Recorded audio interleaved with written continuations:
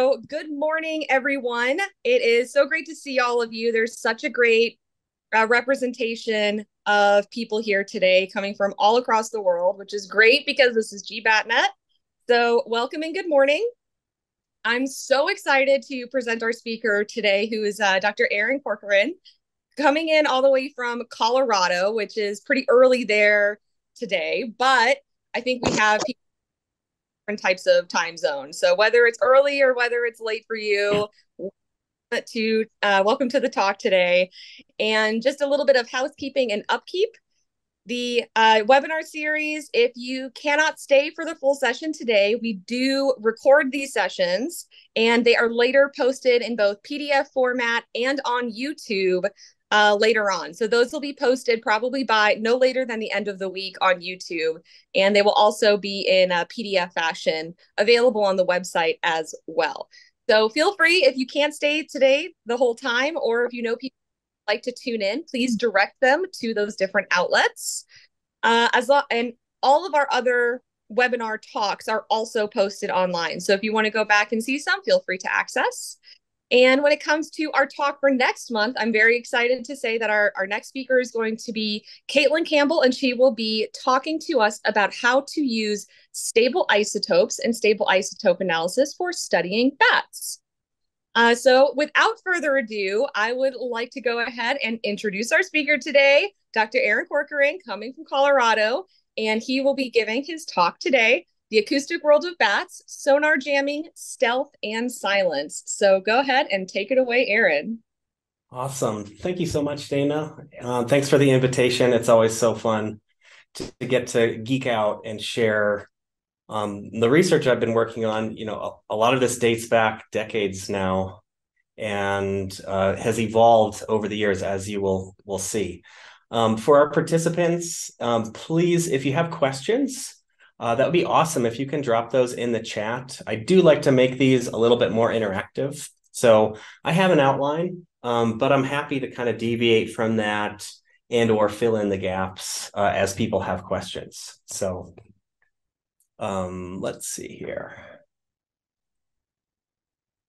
All right. And Laura is asking a question of where we can find PDFs for this.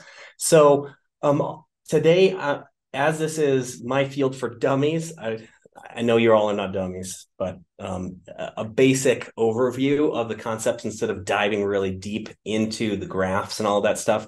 If you want to see uh, the actual publications on which this talk is based, all of it is published, and you can see those links at my website, sonarjamming.com. Uh, you can actually, you can also check me out on Twitter if you want there. So I like to start out by discussing uh, a article that was published quite some time now in the Philosophical Review by Thomas Nagel, and it was titled "What Is It Like to Be a Bat?" Now, Nagel was not a bat scientist; he was a, a philosopher, a philosopher, um, and he studied philosophy. But even not being a bat scientist, he recognized that something about bats are just different. And I think probably most of us in attendance here have that intrigue, that curiosity about bats because they live a life that is so different. Now, Nagel used the example of a bat to really talk about, as you can see in the, the article here, about consciousness and the experience of what is it like to be a human being? How can you empathize with other animals? And can you truly understand what it is to be a bat, to echolocate, to fly in the dark, to do all of these things? And he argued that the answer is no, actually. You can't truly know what it is like for another animal or for another human for that matters is his argument what it is for that person to be that person or that animal to be that animal. But that doesn't stop us from trying. Um, and I, I think it's really telling that he chose bats as his example of something that is kind of other. And I've spent my career trying to do what Nagel said is impossible, which is to know what it is like to be a bat. And so I'm going to hopefully take you on a bit of a journey today to answer that question. And we're going to be looking at this mostly through the lens of the sensory perception of bats, uh, their echolocation, and the different adaptations that go along with echolocation that really show it's not just a, a simple sensory system. There's so much that that goes into it. So I'm going to start by giving an overview of the field uh, of echolocation and acoustics, again, at a fairly high level. And then I'm going to tell you three kind of vignettes about different research questions that I've been interested in over the years. The first being jamming, uh, the acoustic interference that goes on between prey and bats, and in some cases, bats with each other. Stealth echolocation, cases where bats will echolocate very quietly in order to either sneak up on their prey potentially or avoid being detected by other bats. And finally, the possibility that bats maybe are even flying completely in the dark without using echolocation. So I'd like to start with this video here, and hopefully you'll be able to hear the echolocation calls as well. Um, I, we tested it out earlier and it was a little bit quiet, but I'll play it for you.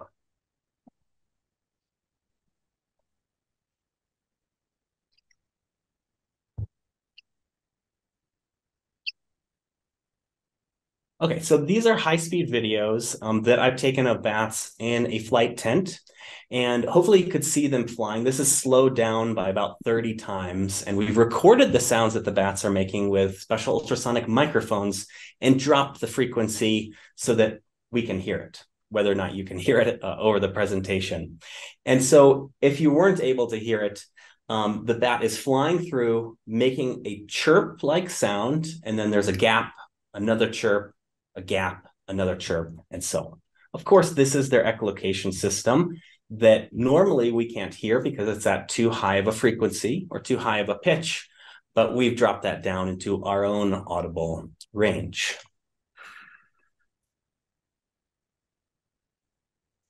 So echolocation, we all know generally what that is and, and how it works, but to dive into a little bit more detail, any echolocating animal or system for that matter, as engineers can design an echolocation or a sonar system or has to be able to calculate three positions of a target. So we have the azimuth or the horizontal direction, we have the elevation or the vertical direction to the target, and we have the distance or how far away that object is, which we often refer to in the field as ranging.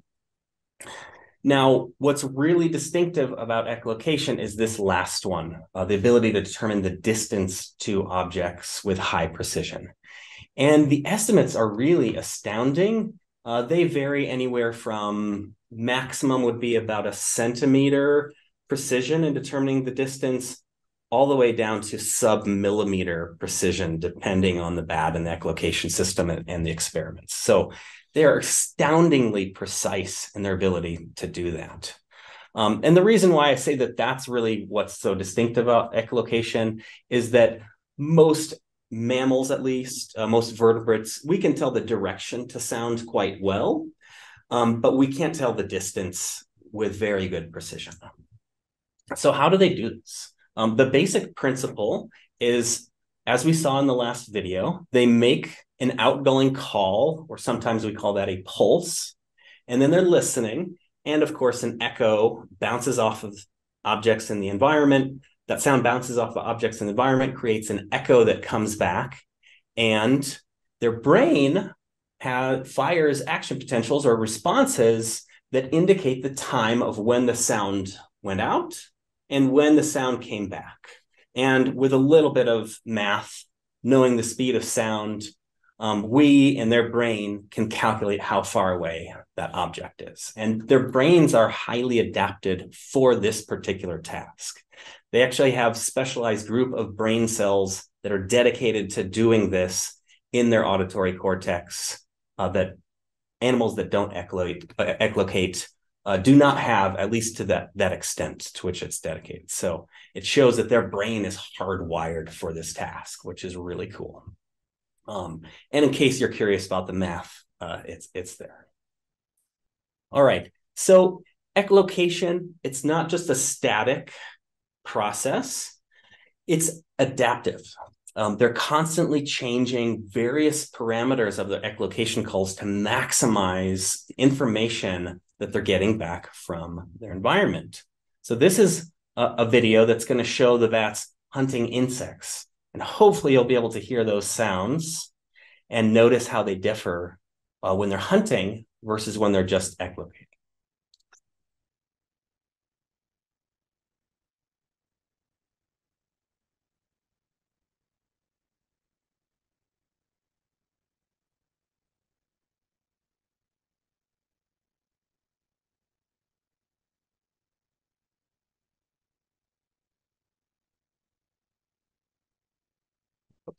Okay, so you can see there's a lot going on there. Uh, we're also interested in my lab in the biomechanics of flight and how they contort their body around. They're using their entire wing to grab onto the moth. That's fairly typical that we often either see the moth, the bat grab the prey either with the wing or directly with the tail membrane and then into the mouth. As far as I'm aware, I have never seen clear documentation of bats capturing prey out of the air directly with their mouth. Um, they, as far as anything I've seen that's very clear, they always use some part of their wing or tail membrane. But as you could see there, or hopefully here, the bats are adjusting their echolocation. So when they detect an echo that comes back from a prey, they will start calling faster. And so the reason for that, uh, you may be able to in, uh, intuitively figure out, is that every time they get an echo back, it's like updating their sonar screen. And they get a new estimate of where that prey is. And so you could see, um, I I'll actually play uh, this video out a little bit, and we could see a couple other trials. Uh, this one in particular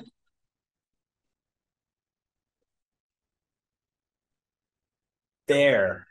So you could see that the bat actually didn't realize that it didn't catch the prey. So instead of uh, capturing the moth into its soft wing membrane, it hits it with its forearm bone and flings the prey up into the air. So just an error of maybe one centimeter is the difference in that bat capturing the prey versus that moth surviving and escaping. So um, all of this is happening at once. And by echolocating very quickly, it's getting information back about the position of the prey uh, more rapidly to update its sonar screen, so to say. And that helps it to be able to capture the prey, but it's obviously not always successful. So I am going to introduce uh, this concept or this figure here um, that that I think hopefully you all will be able to grasp. And many of you are probably already familiar with looking at these, but I'll walk you through uh, from the ground. So, as acousticians, scientists who study sound, often we use uh, this graphing application called a spectrogram or a sonogram. So, we take the sound, and there is a mathematical formula basically that's applied to the sound to convert it so that we have this graph.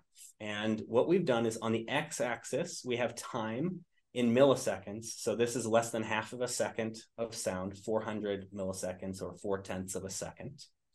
On the y-axis, what's really unique, uh, we can see here that we can't see in a normal waveform, is that now we can see the frequency information on the y-axis. And so you can see this goes from zero kilohertz or zero uh, kilohertz are thousands of cycles per second, up to, in this case, about 125 kilohertz. So here in North America, most bats are producing sound in the range of 20 to 125 kilohertz. Other places around the world where some of you are, bats can produce sound upwards of 200 kilohertz. And for context, the designated human upper hearing limit is somewhere around 20 kilohertz, the very bottom portion of this graph. So all of this uh, that's dem- that's shown here are sounds that normally we would not be able to hear. But if we slow it down, that drops the pitch and we are able to hear it. So I'm going to play this for you. And you can see each one of these dashes here is an echolocation call. And you'll see the red go along as hopefully you can hear it as well.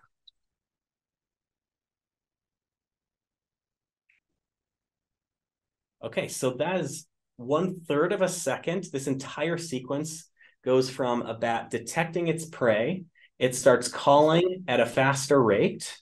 And then at the end goes into what we call a feeding buzz. And if you're out into the field with uh, an echolocation recording device, if it's playing it, it often sounds like a, a z or a buzz sound. So that's why that scientist called this a feeding buzz even though it's a trill at a very high rate.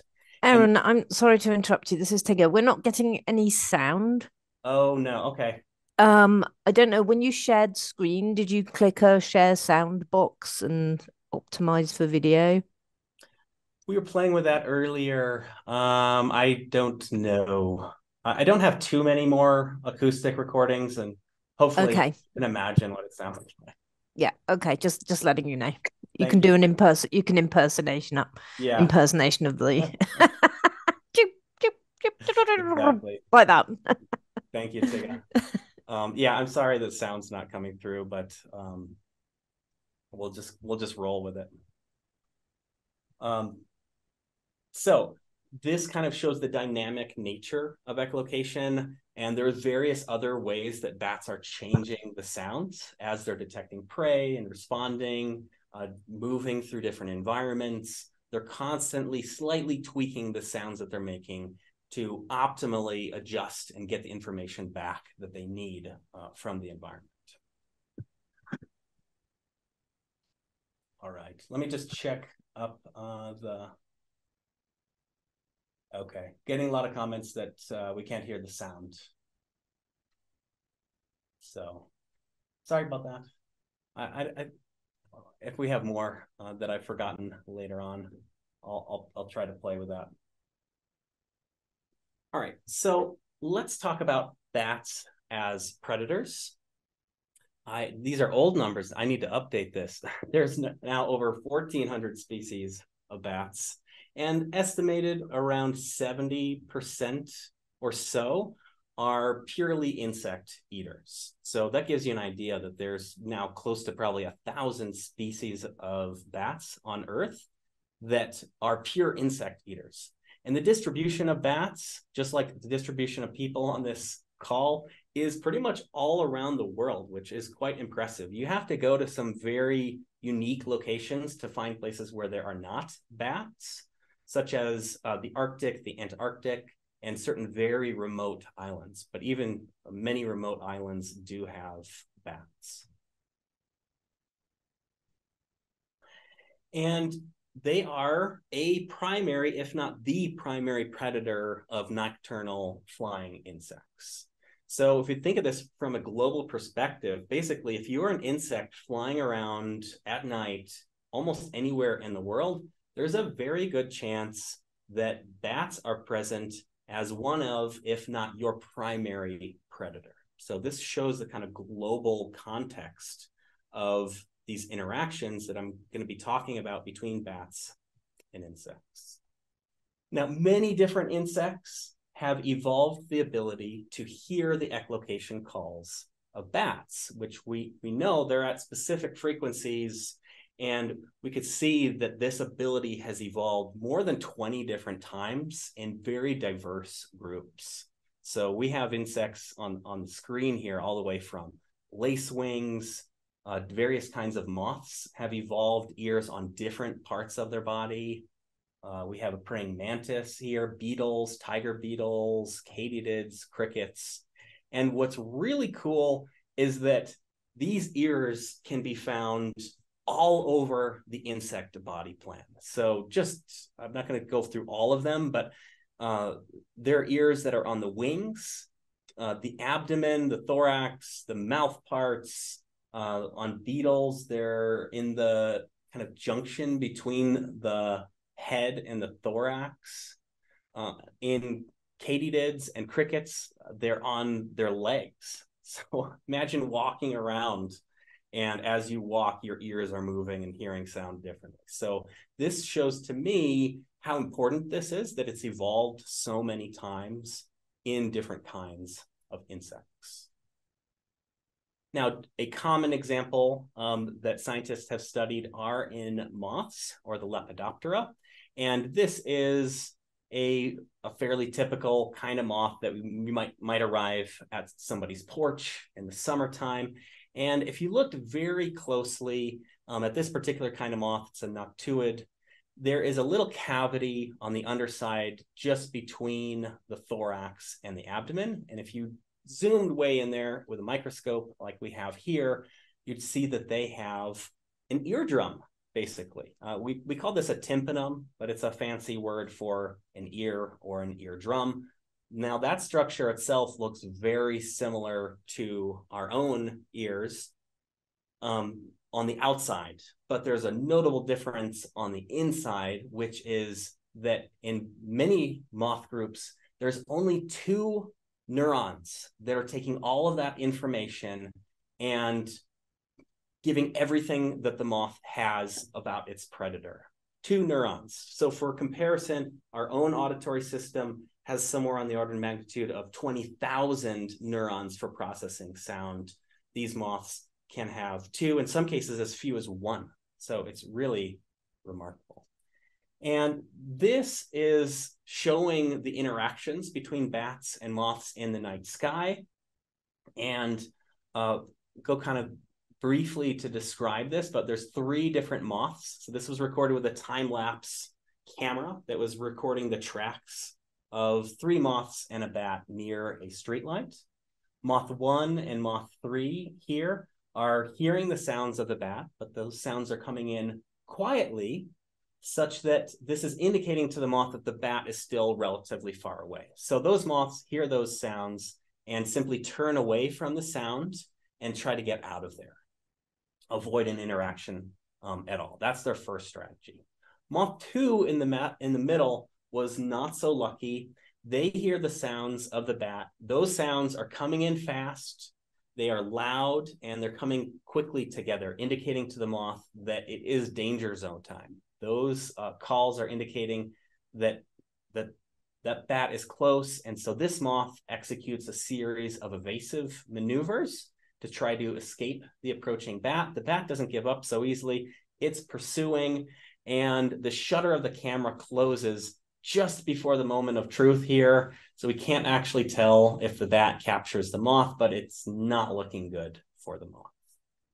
So this kind of illustrates what we often refer to as the bat insect evolutionary arms race. And this is the classic dynamics of the sort of dogfight, pursuit, and evasion that is going on above our heads all, all of the time. Now, there are some moths that have another strategy and they have the ability to produce sound of their own. Now, this is a tiger moth, uh, which is in the group Arctiinae, and there's actually over 10,000 species of this particular group of moths. And what unites them is this specialized structure on the side of their thorax, the side of their body, that's called a tymbal. And I'll show you some videos of this, but this is a specialized sound producing organ. And if we zoom in on it on a electron microscope, on the surface, you can see this series of ridges. So on this one, there's about 20 or 30 of them that are along the surface. And this structure, it's very thin on the surface and it's filled with air. And there's a muscle underneath that contracts it and causes it to buckle inwards and then outwards, creating a series of ultrasonic clicks. And it's really a remarkable uh, structure. And hopefully that will come through as we start to study its sounds that it, that it makes. So the question that I was interested in for my PhD, as well as others were interested in before I was starting this, um, is why? Why produce sounds in response to a acoustic predator? And there's multiple hypotheses uh, some of which have very good evidence. And jumping to the chase, the, the answer in most cases appears to be that it's actually a warning to the bats that the moths are toxic.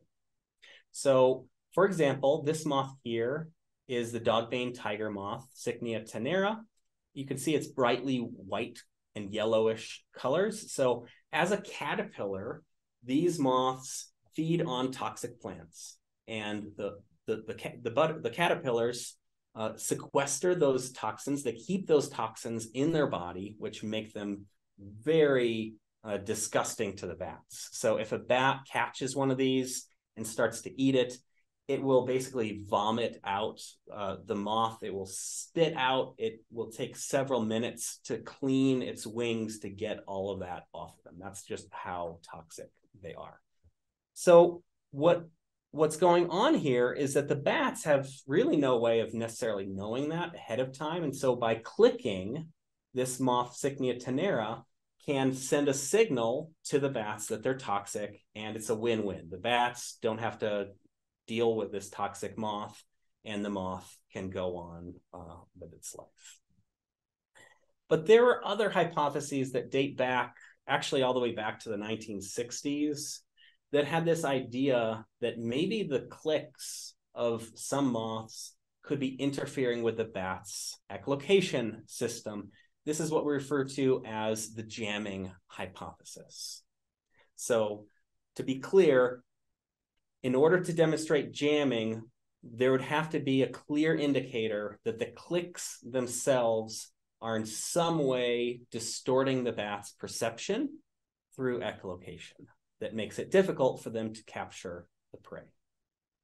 So this was a subject um, of my PhD work at Wake Forest University with uh, Bill Conner and Jesse Barber, among others who, who helped with this work.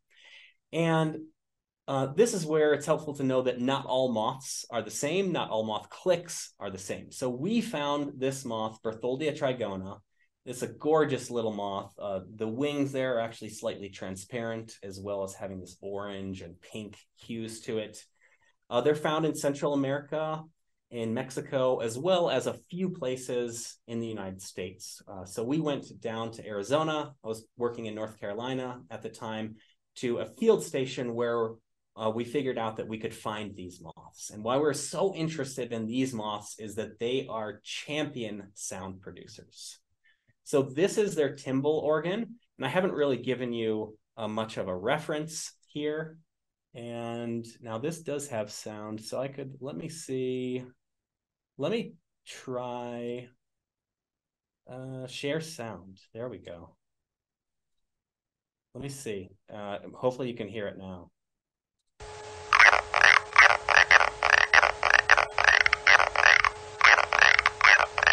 Okay, can you hear that? Yes. Oh, yes. I should have done that earlier. Okay. So this is slowed down 30 times, and this is one of their timbal organs. They have two, one on the left and one on the right. And you can see this structure um, as it's buckling in, it's creating a burst of sound. As it's coming out, it's making a second burst of sound.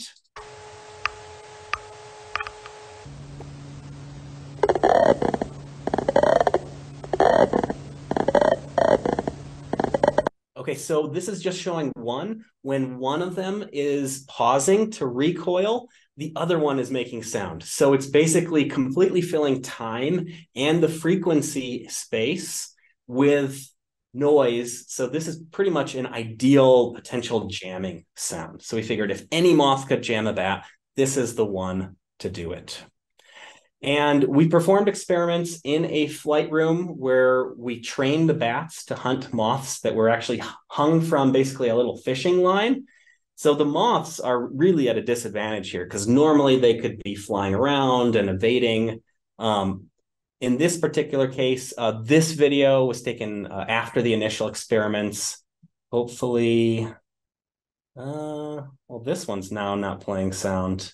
Uh, but this is uh, one of the jamming moths, and the bat is coming in here. The moth does do a little bit of a dive maneuver. Um, I'm sorry, the sound issues. It normally is producing those clicks, and that makes it so that the bats, as we saw in the experiments, would get very close to the prey, just like they do here, but then they miss their prey. And so we saw that time and time again. And we also, um, I, don't have the, the graphs, but if you're curious, uh, I check out the publication. We looked at the acoustics of the bats and we saw that the clicks were disrupting that feeding buzz that we saw. The bat would go start to go into the feeding buzz, then the moth would start clicking, and the bat would hear that and it would kind of disrupt its patterning. So we had direct evidence that the clicks were in fact interfering with the bat's echolocation. So this is really exciting. Uh, this was published way back in 2009, um, but this was the first really clear demonstration as far as I'm aware, of any prey animal using acoustic interference or jamming as a defense strategy. So, um, after studying that, uh, we actually went to the field. So th- those experiments were done in the lab in North Carolina. We had the moths shipped to the lab where we could train the, the bats to do all this. But we're really curious, and I've always been interested in what the animals are doing more in nature. So we went out to the field uh, to start see if we could figure out a way of putting out cameras and equipment that we could study animals in the natural environment. So this was done at the Southwestern Research Station, a place I've now gone to 15 or so years uh, over the last couple of decades over the summer. For North America, at least, they have a high diversity and abundance of both bats and insects. So it's really an ideal kind of field laboratory for studying these kind of interactions. And this is one of our earlier field setups. So this is an a, a, infrared camera on the left side of the screen and infrared lights. We have a little workstation where we can see the feeds. So I actually have three cameras. We can film interactions uh, that we concentrate in, in at our field location with these in these uh, ultraviolet lights. So we've made our own little kind of street lights here.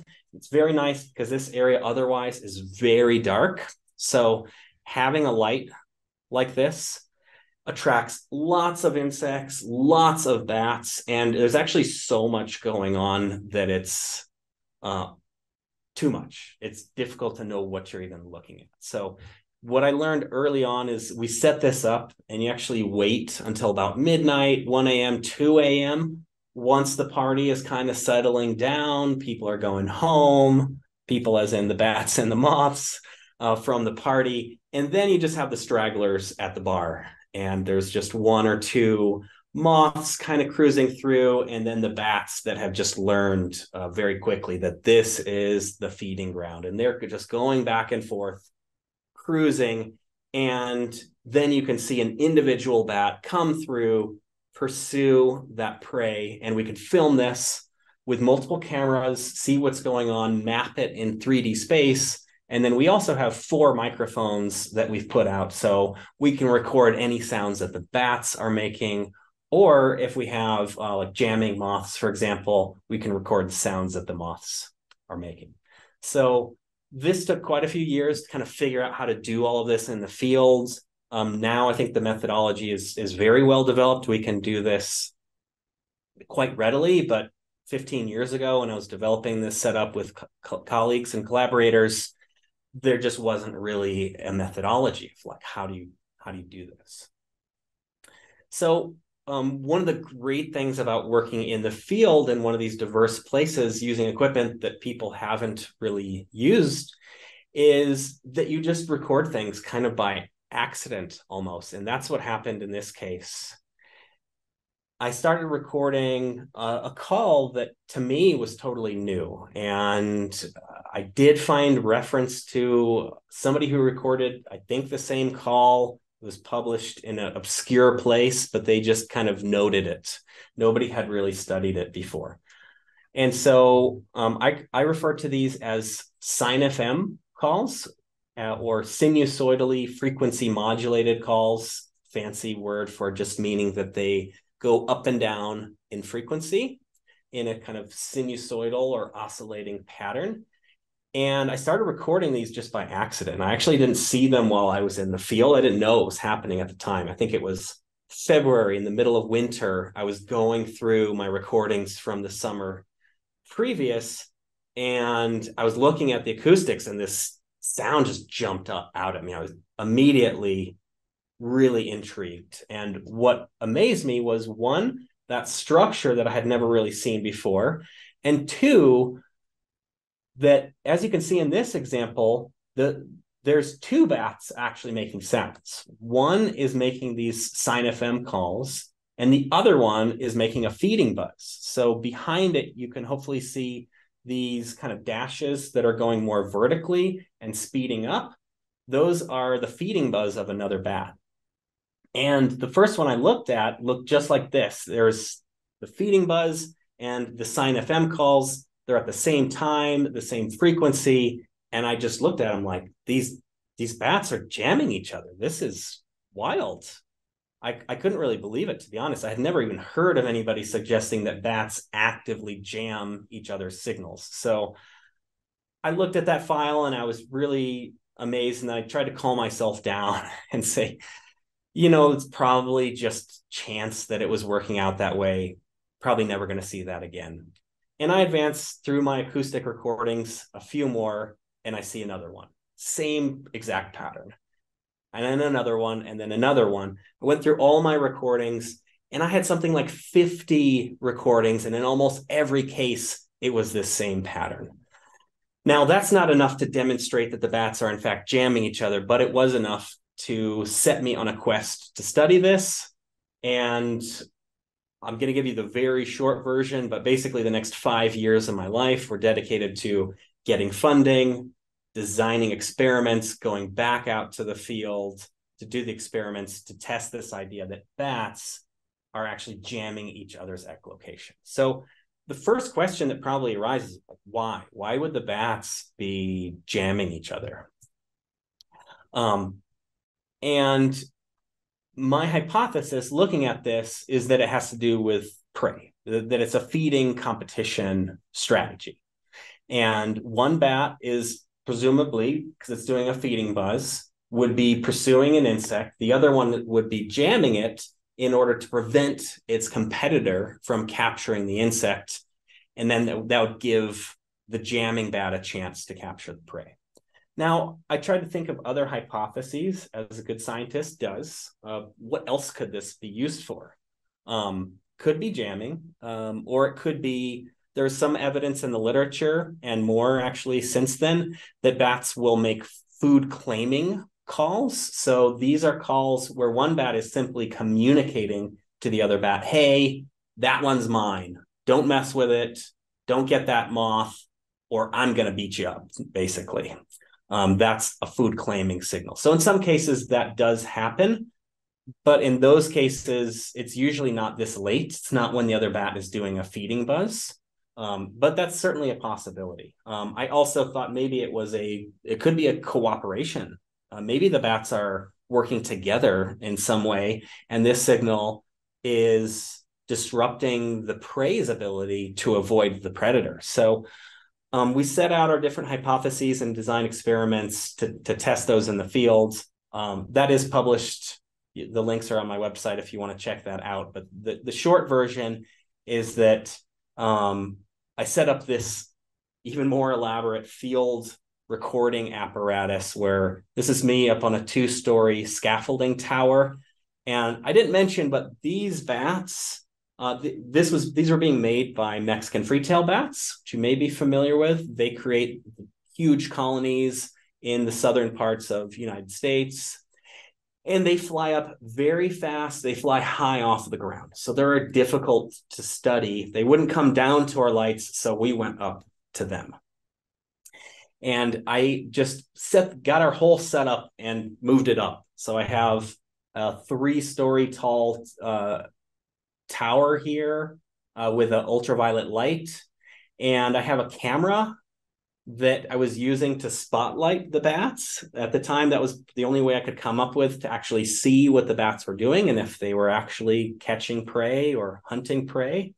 And I have that synchronized with cables down to the ground with an eight microphone array on the ground. So we could triangulate the positions to the bats from these microphones to know, look at their flight pattern and know which individuals are doing what acoustically. And basically, what we found is that when two bats are present and one of them is making this sine FM call, indeed the capture success of the other bat dramatically went down. So, this does demonstrate that it's some sort of competition strategy, that it's preventing the other bat one way or another from capturing the prey. Now we don't can't say that that was jamming yet. So um, before I uh, sorry, actually before I get to that, this is showing an example of the mapping. So you can really see that this is a competitive kind of battle interaction, and the red bat is coming through here. The numbers indicate time in seconds, and the circles indicate echolocation calls. So the red bat is coming in here, and then it does a feeding buzz, trying to capture the prey. The blue bat does a sine FM signal. The red bat misses. And then basically they go back and forth. They're weaving into this same spot and missing the prey. And then finally, after three, four rounds back and forth, then the blue bat has a chance to capture the prey. The red bat kind of gives up, and the blue bat does successfully capture the prey.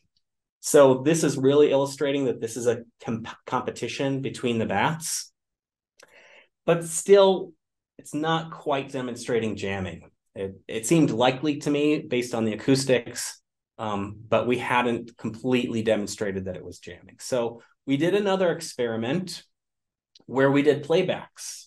So to see if we could basically jam the bats ourselves. So in this case, I have a moth that again, I've basically tethered or tied uh, very carefully to a very fine fishing line that the bats can't really detect and lure the bats in. The, the bats come swooping down to capture, try to capture the moths. And then I'm sitting down at the ground at the table watching all of this. And when I see a bat come, I have a speaker that's connected to a trigger on the ground, and it's randomly picking different kinds of playbacks, some that are uh, designed in certain ways that it should be able to jam the bat if jamming is possible, and some where the frequency is shifted or the timing is shifted such that it shouldn't interfere with the bats.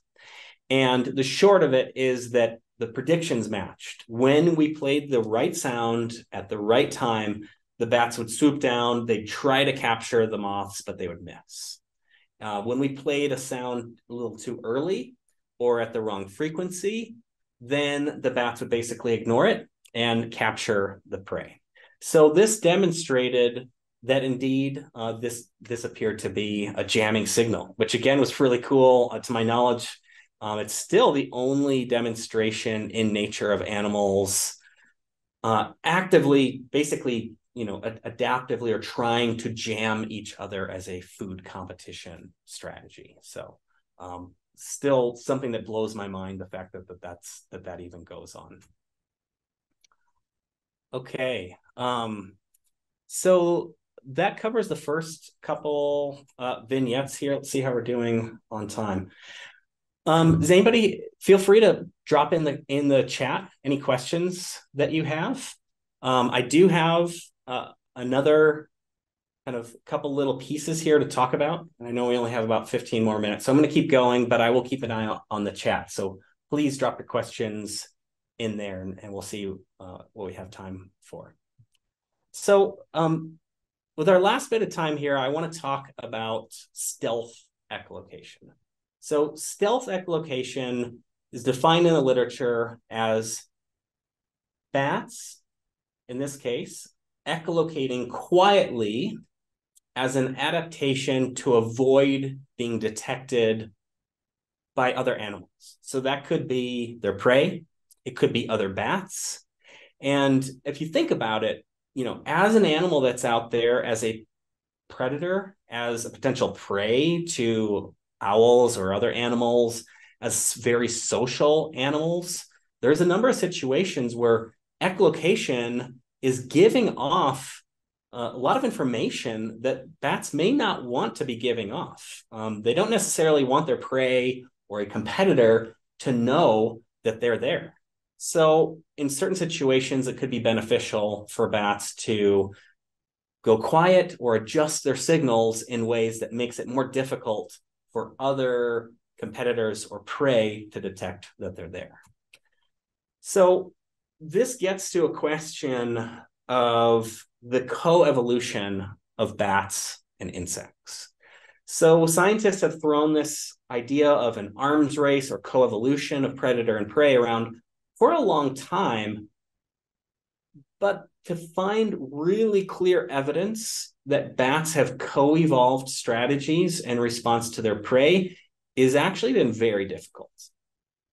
So people have had various ideas of sort of strategies that the predators could have in response to the prey. Now, it's clear that prey have evolved adaptations as defenses to the predators, uh, as we talked about. That nobody really de- denies or doubts that prey are adapting to the predators. But even beyond bats, there's not that many examples where it's super clear that the predator has evolved a specific strategy to overcome the prey's defenses. And that is what is required if we really want to call this coevolution. We need what we call reciprocal or back and forth adaptations. And so people have found cases where bats are using echolocation calls that are at super high frequencies or super low frequencies, for example, that make it difficult for the prey to detect the bat's echolocation. And people have suggested, scientists have suggested, and even demonstrated an advantage to those strategies for the bats. But that's not quite enough evidence to demonstrate coevolution. The reason being that there could be other advantages, and there certainly are uh, other advantages to echolocating at a very high frequency or at a very low frequency. Um, high frequencies give you a better spatial imaging of, of your environment, and low frequencies travel further.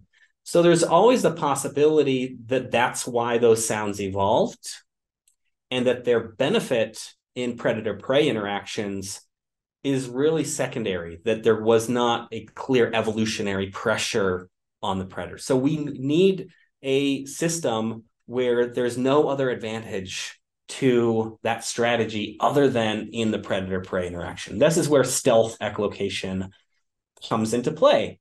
And the reason being that stealth or echolocating quietly really doesn't have many other benefits.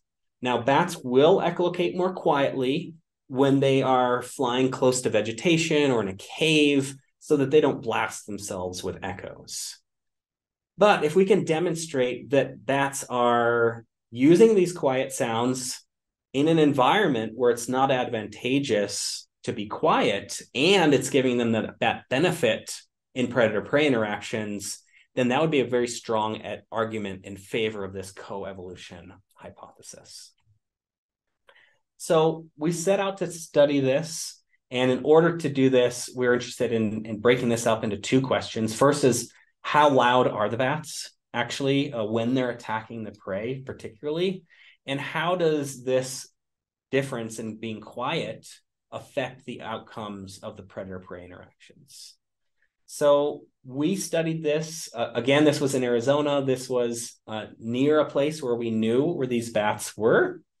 And we tried to find a spot where we could kind of hide in amongst the rocks and again dangle a prey out where the bats would be flying and see if we could get them to hunt the prey in the fields and then the part that we added here is a very small microphone that we suspended down that could record the sounds that the moth would be hearing and then we can film it and reconstruct the flight trajectories of the bats in 3D and then uh, calibrate that so we know how loud the bats were actually being.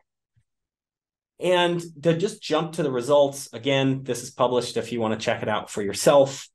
Uh, this particular bat, this is, and I, I, may not have mentioned it, although it was on the slide, is Townsend's big-eared bat, Corynorhinus townsendii and they're about 20 to 45 decibels quieter than other bats in the same environment which is a dramatic difference.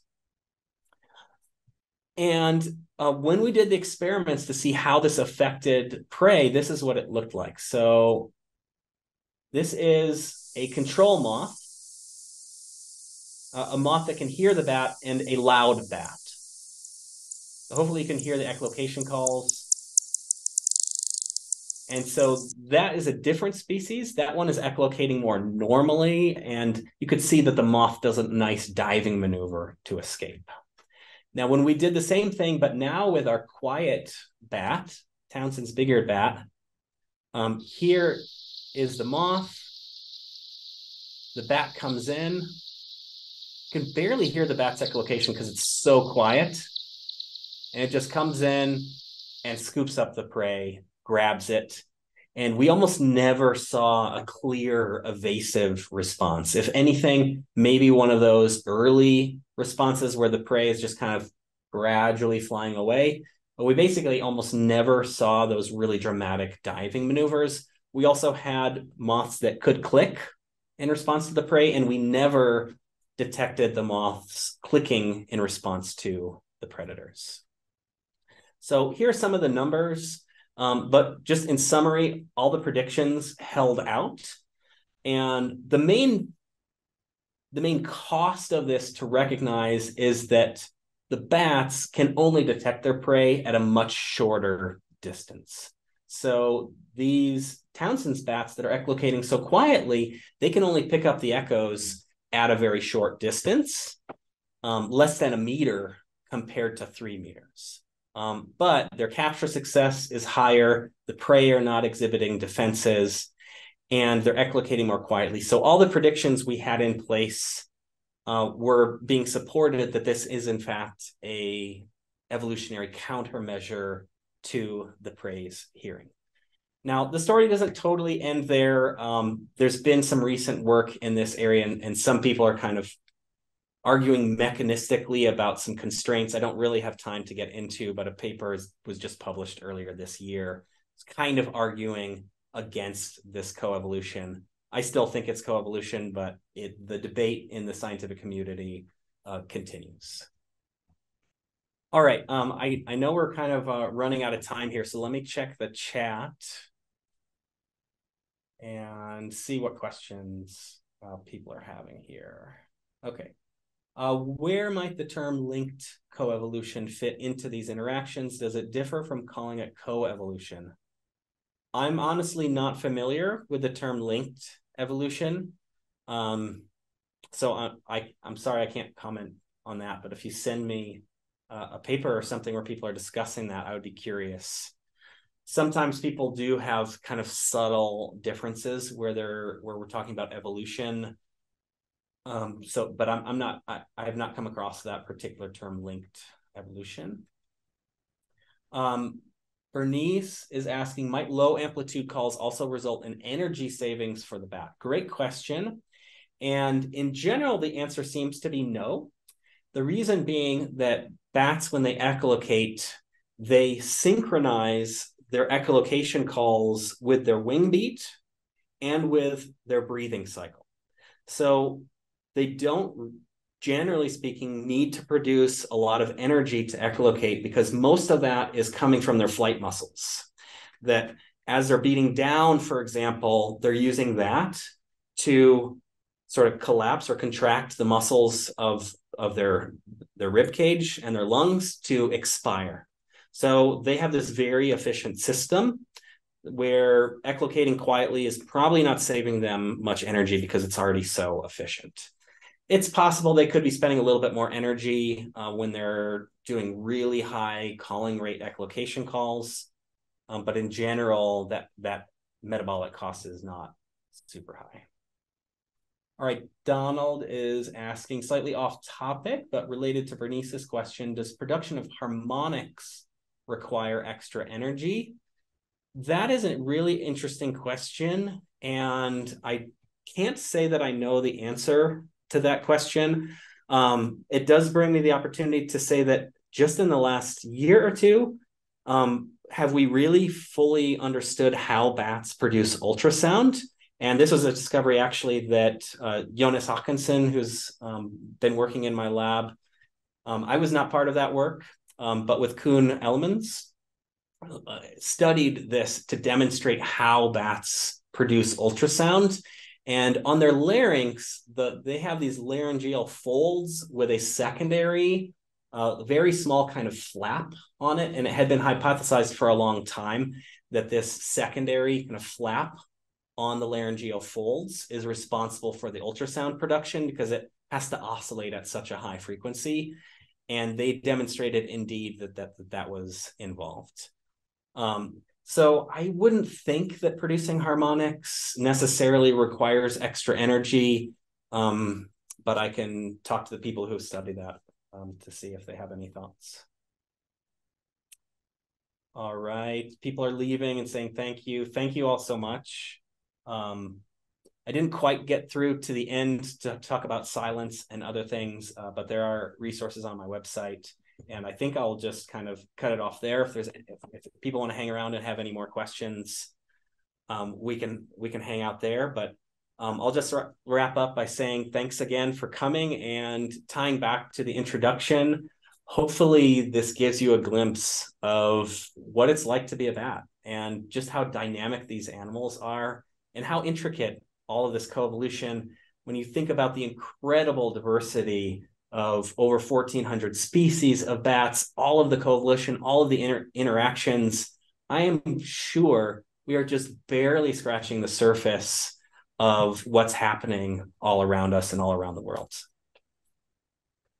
So, thank you. All right. Thank you so much, Aaron. And I completely agree. I, I feel like the more that I learn about bats, the more I'm just like, we know nothing. it's just a, a wonderful, wonderful stockpile of unknowns. Uh, and and so interesting because bats like they're they're just like no other critter out there really. Uh, and you your talk definitely demonstrated that we are have barely scratched the surface in understanding uh, in understanding bats and how they interact with the world yeah so so thank you so much for your talk and um, again all of this is going to be posted up onto our youtube channel afterwards so if there's something you wanted to go back and learn more about um, or go back and, and um, hear about references you can always go back and do that and again aaron mentioned many times that all of his publications are available on his website so go check out some of his papers they are absolutely fascinating i could not recommend them recommend them enough uh, so without further, without I guess anything else, unless we have more questions uh, in the chat at all. Uh, you didn't even get to talk about ear size. Ears matter. Sure. Uh, and again, just a quick reminder, our next GBAT webinar, My Field for Dummies speaker is going to be Caitlin Campbell and she is going to be talking about using stable isotopes and different types of stable isotope analysis to understand bats. Uh, so whether it's from movement to foraging ecology, stable isotopes can be used for a lot of different things. So if you're interested, please use the registration link that is going to be posted next week to sign up for that talk. Otherwise, we can give one big hearty thank you one more time to uh, Dr. Co- uh, Corcoran, and we can go ahead and tune out for the day. Thank you all so much for spending your time here today. Yeah, thank you.